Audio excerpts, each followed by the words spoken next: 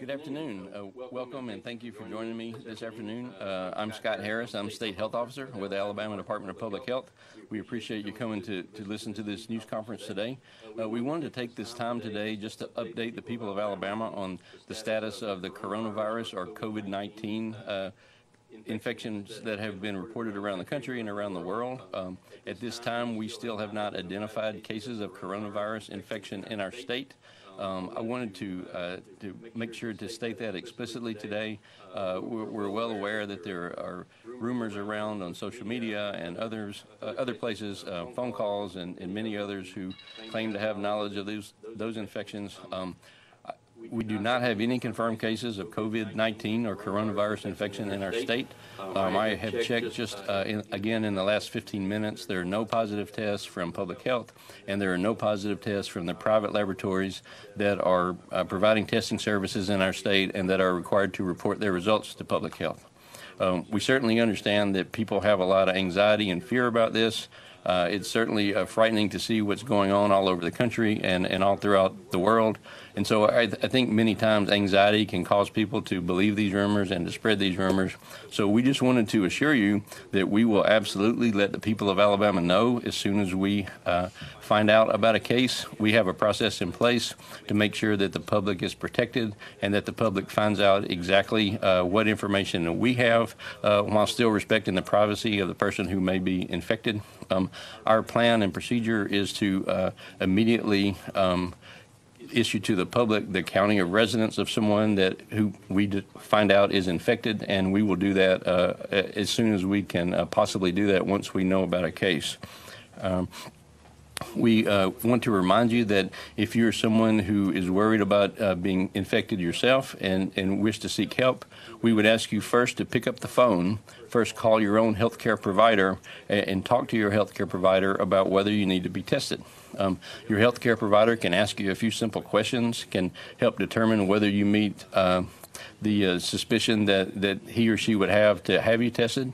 And then if you need to be tested, uh, your provider can contact us at the Alabama Department of Public Health and we will arrange that testing for you. We are not doing testing at county health departments. Um, we would ask the public not to show up at county health departments uh, because we do not have the ability to screen you and test you in those facilities all tests are actually done at the state lab here in Montgomery uh, by public health. Uh, however, you can be screened uh, in many locations, uh, and screening is, is, a lot like receiving a flu test where you have a swab in your nose or a swab in your mouth. That can be done at a lot of locations around the state, uh, and we'll, public health will be happy to arrange that and then transport your, uh, your specimen here to Montgomery for testing.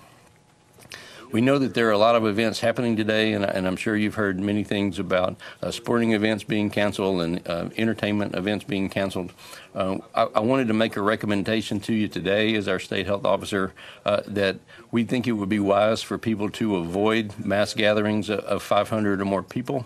Uh, a similar recommendation today came out from the health officer in Jefferson County, and I uh, agree with that recommendation and would like to make that to the rest of the state.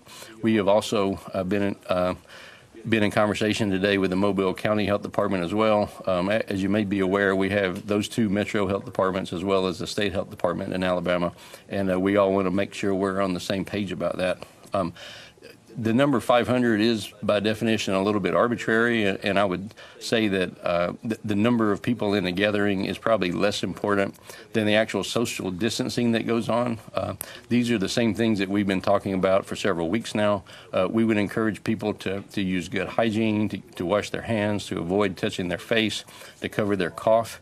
Uh, and when you're in crowds of people, uh, try to stay at least six feet apart. Um, there's uh, something about the coronavirus that, that six feet seems seems to be an important number uh, and makes it easier to transmit if you're within that distance. So uh, we would encourage people to uh, avoid being within six feet if you're out in a crowd, if that's something that's feasible to do. Um, our recommendations to avoid uh, public gatherings are, are, not recommendations for workplaces. We are not encouraging uh, workplaces uh, to uh, council work. Um, I think it's always uh, prudent to consider whether it's possible for employees to work at home, whether uh, you have HR policies in place in case there should be a reason to uh, to have people uh, work from home. But we are not uh, intending for this recommendation today to apply to workplaces. Uh, Similarly, we are not recommending that schools be canceled, daycares or institutions of higher education or colleges and universities. This is not a recommendation to, to cancel those uh, schools or those programs. Um, We've been in conversation very closely with uh, the state superintendent, Dr. Mackey, uh, with, with all of our colleges and universities, and there are many different factors to consider there. Uh, The recommendation that we're making today uh, simply applies to those, uh, so what we would call mass gatherings, um, large mass gatherings, 500 or more people. Uh, And I I think we were thinking uh, of things like um, sporting events or or festivals or uh, other types of of entertainment that would have large numbers of people. There are some people, as you know, who are particularly susceptible uh, to infection with coronavirus and particularly likely to have bad cases. Uh, that would be people who are elderly, uh, people that have chronic health problems. Uh, and, and for those people, I would say it's always very prudent to be careful uh, about being in crowds and being around a place where you might contract illness. And, and that really applies in flu season, uh, any year, every year, but particularly at this time as well. So we uh, don't have any other specific guidelines. Uh, Again, this is not a a health order that we're requiring people to cancel these. Um, This is certainly a a case-by-case basis that uh, different organizations and jurisdictions would need to make for yourself. Uh, But as state health officer, I I believe it's in the best interest of the public health in our state that people consider uh, avoiding these mass gatherings a- and trying to, uh, trying to limit the disease transmission as much as as possible. Uh, Finally, I'll just reiterate what I said earlier. We do not have any confirmed cases of COVID-19 in our state. Uh, We have done testing of- of many people and do not have uh, any positive test results. Uh, The private labs who have done testing have also not identified any positive lab results. Uh, We continue to test. We fully expect that in in the coming uh, days, we will find cases, but at this time, we do not have them. So uh, finally, I want to thank the people of Alabama for uh, staying tuned and trying to stay informed about this. It's a very fast-moving situation. Uh, There are changes that are occurring all the time, and our guidance is different, and, and many things are, are just almost uh, happening too quickly to keep up with. But I want to assure you that at ADPH, we will let you know as soon as we know about a case and as soon as we have any significant information that, that the public would, would want to know. So with that, I think I'll stop my comments, but I'm happy to take questions from you here. Scott, do you have any uh, people waiting on tests as we speak right now? Uh, the And can they hear your question, or would you like me to repeat that? Um, The question was, are there people who are waiting on, on tests? Uh, There are some tests, I think, that came in uh, later today uh, that are still being run and are not finalized for today. Um, But uh, we continue to receive tests uh, daily now that we've been testing for one week, I believe, and all those tests are negative, and there may be a handful today that haven't come off today. Uh, Not sure about that, but I think probably at least a couple. How, how many are outstanding, if you will? Uh, Um, Um, th- Then, I, I- don't know for sure. Uh, When I, when when I uh, got an update from the lab earlier, I was told there weren't a large number today that had not been completed. I would certainly say in the single digits, but uh, I I don't know for certain. I- I- Yes. How many people have we tested total, and what is our capacity for testing? How many tests do we have? Sure. Um, the- The, the actual number, I'm not positive um, because it, it- it's, it's difficult to keep track in the sense that um, one test or one test kit doesn't equal one patient. Uh, Multiple uh, specimens might be obtained on a single patient, and so we can use test kits, uh, more than one test kit on, on a single patient. We also use some swabs for quality control, so there's not a one-to-one correlation. Um, The, the number that I heard honestly was late yesterday, I'm not sure about today, is, is something less than, than 50, but I, I don't know for sure what that number is. That doesn't count the, the ones who have- been uh, tested by private labs and doesn't count the ones that were originally sent to CDC earlier before we began our own state testing. It, Get- I'm sorry, could I finish? I'm sorry, just one second. And then to follow up on, on capacity question, um, we, uh, right now have plenty of capacity. We, we do not have any issues with handling the load that we have. Um, we have, uh, the ability to run about 150 tests per day if we need to do that, and we have adequate material to allow us to do that. Uh, we, uh, have used the, I guess, the first allotment of tests we originally received. Uh, we have, uh, had requested and have already received a second allotment from CDC and are making requests for additional tests as well. So testing capacity has not been an issue for us so far. If we were to have an issue with capacity, uh, our plan would be to try to outsource that overflow to commercial labs that would be able to handle that. I'm sorry, go ahead. So you would not say that we have such limited resources that there must be cases out there? Uh, You, you, you're not going to make that statement, in other words, we, we have the one lab, I guess, in in Montgomery, but isn't it likely that we're only one of five states in the union that has no cases right now, that there must be somebody out there with Yeah. us? Oh, yeah. I, I, I think we've been very clear about that. I expect that there are people who are infected that we have, have not picked up at this point. I, I think that's that's very clear. Um, we hope as we continue to test to pick them up. Um, remember, um, uh, probably 80% of people who are infected don't have serious symptoms, and so it, it certainly may be that a number of people have just not sought medical care if they don't seem to be that ill. Um, but as we uh, increase the ability to test more, uh, we think we will pick people up. Um, we want to make sure that we're not a barrier to people being tested, and, and we have discussed ways to make sure that providers can get a test if they choose to do that. Uh, we, we have criteria that we have put in place based on what CDC has recommended to prioritize those people who are most at risk for getting infected because they've had an exposure or they have a certain travel history. But also, we want to prioritize those people who are most likely to have problems because they're elderly or because they're seriously ill already in the hospital. And we still think those are the people who are the highest priority for testing. However, um, if a if a clinician feels like they have a patient who needs to be tested, we'll essentially accept that uh, at the word of the clinician, and we'll we'll test that on the on the order of the provider. real micro level here, somebody watching in Birmingham or Homewood or Bessemer, just the one individual might be watching is a little scared tonight. Walk me through what that person can't. I know one size doesn't fit all, but I'm worried that maybe I have this. You don't want me going to the county health office. Where do you want me going? Right. Um, if someone is sitting at home tonight and wondering what they should do to get tested, uh, the first thing I would say uh, is don't go anywhere at all, but rather pick up the phone if that's an option for you to do so. Um, if you have a provider relationship, if you have a family physician or, or a clinic that you use that you know, please call them uh, and talk to a, a healthcare professional who can ask you a few simple screening questions and help determine if you need to be tested. Um, most people who are worried about whether they should be tested may not need to be tested, um, but but certainly only you and your healthcare provider can make that decision. So once your healthcare provider has decided that perhaps you do need to be tested, then they will contact us and we will arrange for testing to happen. Um, there are certainly people in our state that don't have access to a healthcare provider. Um, perhaps they don't have insurance or they just don't have a, a, a physician that they have an established relationship with. What we would ask you to do, again, is pick up the phone, um, call uh, an urgent care clinic, uh, possibly, or a community health center nearby. Call an emergency department uh, if uh, if you need to, and, and try to ask for information and try to make det- so a determination can be made whether uh, whether you need to be screened or not. Um, if there's uh, the advice based on what that health professional tells you that you need to be screened, that health professional can contact us and we'll arrange for testing to occur. Question, um, what would you tell people who are getting ready to take off for spring break? Uh, They're making plans for trips. Um, What advice do you have for them? Yeah, as spring break approaches, we know a lot of people will be traveling. Um, I, I would say that the first thing is just to be aware of the situation. Uh, the situation is changing very quickly, and, and in real time, we're seeing um, disease pop up in different places. Uh, at this time, the, the the true hotspots that we know about in the U.S. are are in California, they're in the Seattle area, and they're in uh, New Rochelle, Washington, just north of New York City. Uh, those places uh, clearly have a high level of community transmission and ought to be avoided by travelers.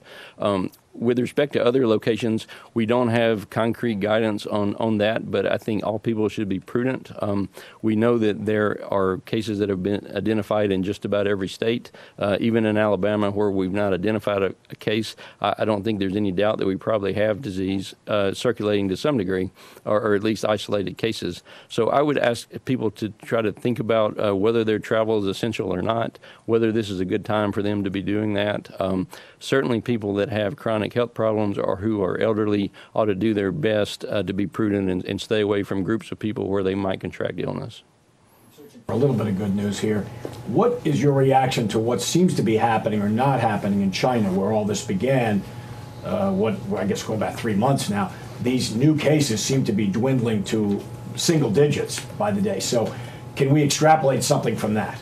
Yeah, I think it's it's hard to know. There's certainly not a direct correlation necessarily. There are a lot of factors different between what's happening in China and, and what's happening in other parts of the world.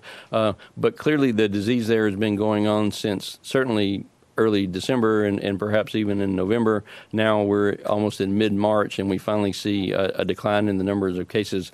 I, I think that's um, that's similar to what we would expect with any type of outbreak in a way. We do see it dwindle uh, after a few months. I would think even with cases in this country, if we have large numbers of cases, uh, we would expect it to run a certain time course.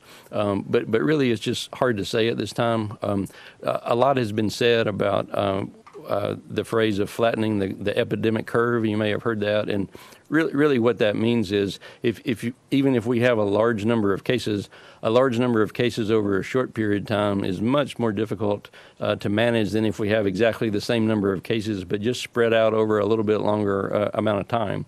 Uh, that allows hospitals to work within their surge capacity, for example. It allows providers not to be overwhelmed.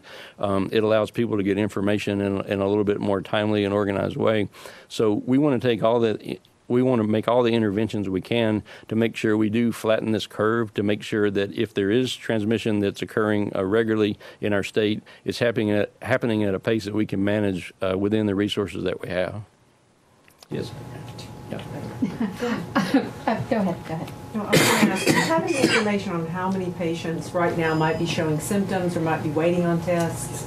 Um, I, I, I, don't know the answer to that. I'm not sure. Um, I, I, will tell you that um, we have had uh, clinicians who've called us about patients when we began testing earlier that were that were clearly uh, not appropriate candidates for testing based on the criteria that we have. Um, now that we ha- we have liberalized those criteria, I don't believe that will be an issue. If a clinician in, in his or her clinical judgment feels like a patient needs to be tested, we will do that test for them. Can you discuss what is the criteria on who gets a test? And um, the plans for the five million supplemental. Sure. Um, in terms of who get the test, is that is that a question about who actually gets screened? Who's who we're able to screen? Um, I, I, think the, the simplest answer is if a clinician has a patient they want to be screened, then we will we will certainly do that. Um, if there's a, an issue or, or a, a, problem getting that done promptly. They also have the opportunity to send those people to commercial labs, and we think that's that's a terrific idea as well. We want all people who need to be screened in the in the minds of their practitioners to make sure that they get screened.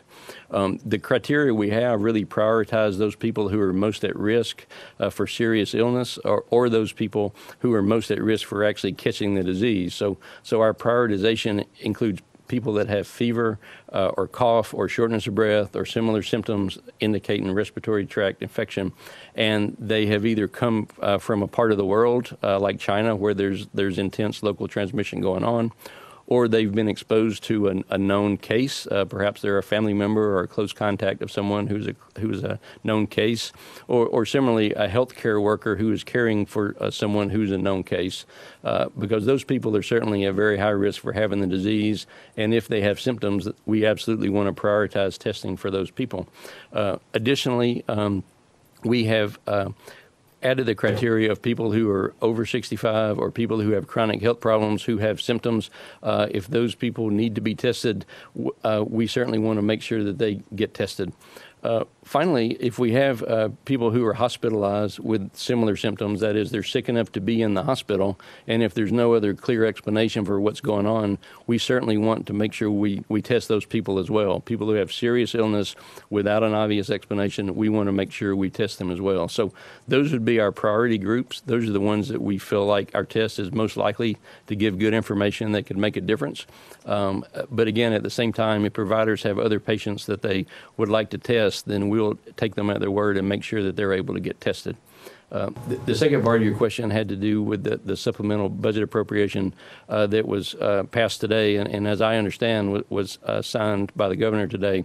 Um, that was uh, a budget appropriation that the legislature uh, wanted to distribute after talking with public health and, and with some other groups over the past several days. Um, they want to make sure that while we're waiting on federal funds to come down from what the uh, the U.S. Congress uh, passed uh, last week, that we would have the ability to make sure we keep up with any demand for testing and uh, demand for screening.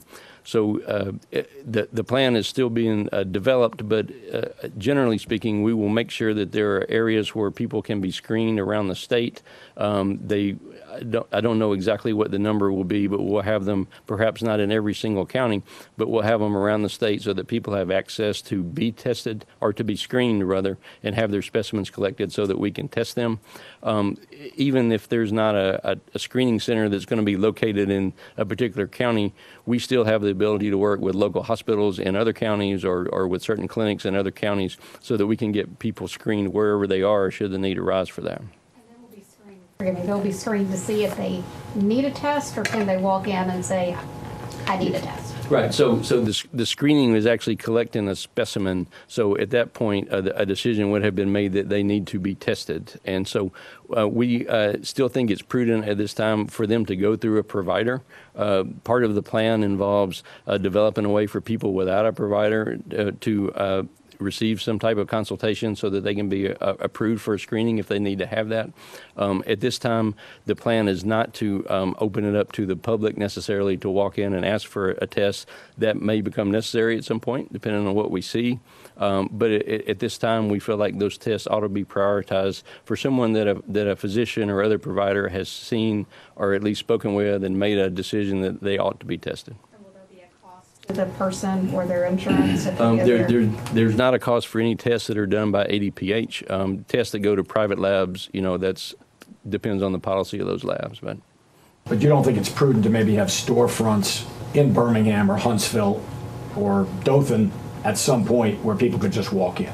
Um, we, we don't have plans for that at this time. Um, part, part of the issue, as, as you know, is there is some risk to healthcare uh, workers who are collecting samples. Um, there is guidance on how they, uh, on what type of personal protective equipment they need to wear, uh, for example. And so that's why most doctors' offices probably aren't the right place to get screened, and why we've tried to make arrangements for other facilities. Uh, there has been a little bit of loosening of those criteria.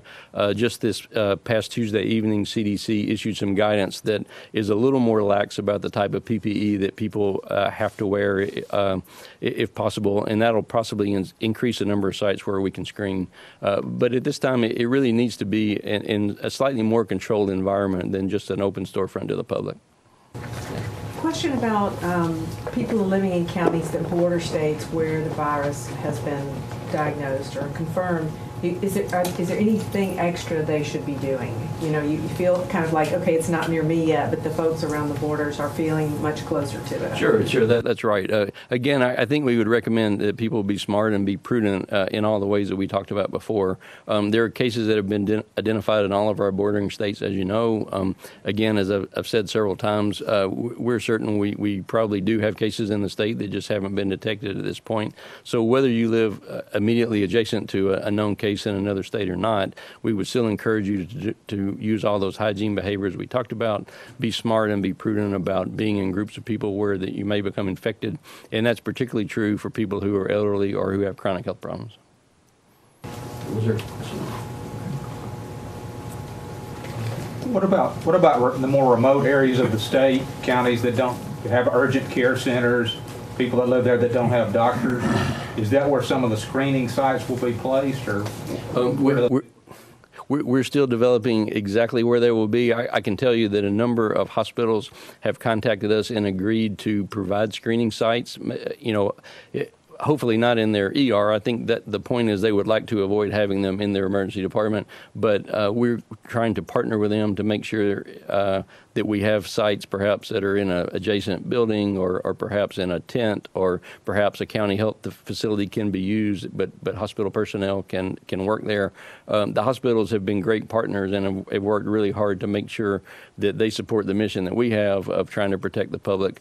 So we have a number of hospitals that we know who are, who are interested in participating in this. Uh, we're still trying to identify um, locations in parts of the states where we don't have a, a hospital facility to, to do that, but we're confident that we can do that. Um, we want to make sure that everyone who needs to be tested can be tested regardless of where they live.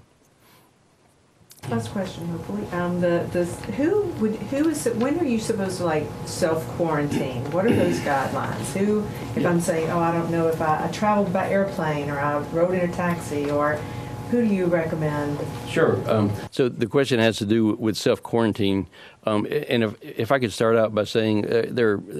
Another uh, oft repeated social uh, media rumor is that we have people quarantined around the state. There are no people quarantined around the state. Uh, a quarantine would be uh, a legal procedure that we would go to a judge uh, to enact, and that has not happened. Um, sometimes the word just gets misused, and, and, and frankly, sometimes probably misused by us. Uh, but we do have people who self quarantine. most of the people who have been self quarantined are people that we advise to stay home for 14 days because they are at a higher risk than the average person for infection. So, for example, in Alabama, most of those are people who have returned from China in the past three months. Um, all the travelers from China, but now also travelers from places like Iran or South Korea or Italy are also uh, people that we uh, ask to stay home for 14 days. Uh, we ask them to monitor their symptoms and to get in touch with us if uh, if they have any issues. Um, in many cases, these are students, and so we're working through their employee health units within colleges and, and universities uh, to uh, to assist with with monitoring them. Uh, some of them are employees. Uh, we continue to have people who travel to China, for example, as air crew or people who are who are still working, and so we work through their employee health units to make sure that those people are adequately monitored and adequately self-isolating. So, uh, the the best term would really be social distancing and self-isolating. Sometimes I think we do say self-quarantine, uh, and and don't mean um, to be confusing about that word. But, but a quarantine would be a self quarantine would be advised for those people who are at highest risk for infection. Yes. How many of these screening centers are we looking at establishing with the 5 million? the, the um, I would say first of all, the five million applies to a, a lot more than only only the screening centers. Um, besides screening centers, there there are other elements of that plan that are still being worked out. But the the initial numbers are, are probably somewhere in the neighborhood of twenty to twenty five. Uh, but that's uh, that's still a very fluid plan, and we don't know for certain.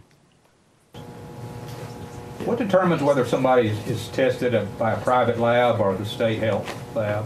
Uh, it, it's the person's provider makes that decision. Um, so uh, when a provider sees a patient and wants to have the patient uh, tested, then he or she can decide either to send that uh, specimen to, to, public health or they can send it to a, uh, a private lab. Are the private labs required to report to the health department uh, the results? Yes, uh, they are. Um, we, there are certain uh, notifiable diseases that um, all, all providers and labs are required to report. Um, so, uh, certain types of things, like, uh, for example, one everyone would be familiar with would be Ebola. You know, if there were a case of Ebola uh, somewhere in the United States, uh, the the hospital or the lab who who made that diagnosis would be required to report that to public health. And in fact, there's a whole list of diseases that are urgent and that have public health significance that labs are required to notify us about. Um, COVID 19 disease was actually added to that list last week uh, through an emergency rule. Uh, in order to amend our rules and change those reportable diseases, we have to go through the whole administrative rules process, and it goes through public comment, and it takes about three or four months. Uh, and so, uh, in order to uh, to start getting that information immediately, uh, there was an emergency rule issued through our state board of health, uh, which is valid for 120 days, and it says that labs or providers or anyone who uh, diagnoses a patient um, with COVID-19 disease has to notify the health department within a four-hour time period. Scott, at this point, uh, based on what you know, uh, at what point do you think Alabama will be out of the woods that we're in the clear? Are we talking one month from now, two months, or Uh, What's the time frame? Yeah, I, I, th- I think uh, I, I wish I knew the answer, but I, I think it's unclear right now because this is such a new disease. Um, certainly, you might get some uh, some sense of what what happened by looking at China, and it, it's taken them three or four months to sort of see that epidemic abating there. Um, we we really don't know what it will be like here. I would say a typical respiratory tract infection, like a flu season uh, that we have every year, can last a few months, and so I would say a few months is a is a reasonable expectation. If we have plenty of testing capacity, why have there only been 50 people tested in the state lab? Is it the prioritizing of, and why Yeah. are we prioritizing if we have good capacity? Yeah, I, I think I think we have prioritized those people that we think are most at risk. Um, with with the group of people that we mentioned, uh, people who have symptoms but also have had exposure to a known case, or who have traveled to an area with transmission, or who are seriously ill in the hospital and have no other explanation. That's actually been a, re- a fairly small group uh, overall. Uh, now, what I don't have at this time, or I don't don't remember at the moment are the number of tests that have gone through private labs, but there's some number that have gone through private labs as well. Um, but our, our plan is to make sure that anyone can be tested that actually needs to be tested. Uh, and so we, we have, have liberalized those criteria so that if a pro- provider makes a decision to test someone, we will do that for them. Have you issued any specific guidance to nursing homes or senior living facilities who seem to be very much at risk? Yes, absolutely. There is very specific guidance for nursing homes and assisted living facilities and specialty care assisted living facilities. We we have spoken with them many times. We just had a call with, many of them. I, I believe it was yesterday. We've talked to them several times. Those those uh, seniors who reside in those facilities are at particular risk, and so we want to make sure that they are protected, uh, particularly in view of what we saw in King County, uh, Washington. Uh, so those uh, those institutions have great plans for dealing with outbreaks. In in fact, you know, congregation congregates um, residential settings are places that do have outbreaks from time to time, and, and typically they're foodborne, but many times they can be respiratory tract, like like influenza. It's not unusual to see respiratory outbreaks in flu season. So so our nursing homes and, and assisted living facilities are actually really good at managing that, um, and so we feel like they have good plans in place. Um, we've asked them to make sure their staff is is again uh, primed and ready to, to deal with that, to recognize when someone is ill, and to make sure they get medical attention, and a decision could be made about, for example, does someone need to be tested or not. We want to make sure they have uh, personal protective equipment, and that's not something that they always have as much of as they would like, but we think that they're adequately stocked at this time. Uh, I know many nursing homes now are, are being a little more uh, careful about visitation. Um, they're monitoring visitors when they come in. They're putting up signage saying, if you're sick, you know, please stay away. If you have a fever or cough, you know, come back a different day. Uh, and so we think those are very prudent. We encourage them to continue to do that. Can you describe a little bit about what your, when your webcasts will be happening and what you'll be, how people can interact with those webcasts? Uh, yeah, I, w- I will uh, get you that information as soon as we're done. I, I, I just I don't have it in front of me, but we'll do it uh, at 10 a.m. tomorrow. I believe it'll be done from this room. Uh, and the idea was to reach out to a lot of people who don't necessarily have access to ask questions. So obviously the press is welcome to come. It, it's not designed exactly for the press, but but certainly it's open to anybody who would like to participate. So. For people like me with short attention spans in television, um, bullet points from what we've just covered in the last half hour. Uh, The uh, the supposition is, as of this hour, there is no case. Uh, You are calling on people who are in groups of greater than 500, perhaps outside of a school or business setting, to suspend. Uh, Six feet away, if you can do that, and um, I guess more testing sites on the way. Have I covered most of what? That that's exactly right. You did that much faster than me. Perfect. I'm the son of a doctor, so I've always had to ask him to. How, qu- how quick is the turnaround on a test? If somebody is tested today, uh, will they know within 24 hours or much sooner? Yeah, yeah. So we, what we, we have said is 24 to 72 hours. Most of them are quicker than 72 hours. Um, some of it depends on what time of day it comes in, but we are testing um, seven days a week, uh, and so we have the ability to turn it around fairly quickly, uh, depending on what time of day it arrives and how many tests we're doing that day. And what do you say to those um, who feel that this is overblown? Uh, A lot of fear factor. Uh, much ado about nothing. Th- These are not my words. That- I'm hearing that myself. so. Sure. I, I- think I think we always um, are uh, very careful to try to thread the needle between uh, having people be prepared and having people be careful and uh, uh, take. Uh, take proper precautions, and then be an alarmist because we certainly don't don't want to do that as well. Um, the message that I hope people recognize is that it, this is really a serious disease. Um, it's affected uh, 130,000, I think is the last number I saw, people around the world. Um, for people who are who are older or who have chronic uh, health problems, this is a uh, legitimately deadly disease. Um, the the death rate from this disease, even if one or two percent sounds low, is still 10 to 20 times the death rate from influenza. Uh, and so we think people need need to pay attention to be prepared. We think most uh, Alabamians are not at risk for serious illness. We think children are- are not generally at risk for serious illness, uh, but everyone needs to be prepared. All right. Is there anything else? Thank you very Okay. much, sir. Thank you very much. Thank you for joining us today.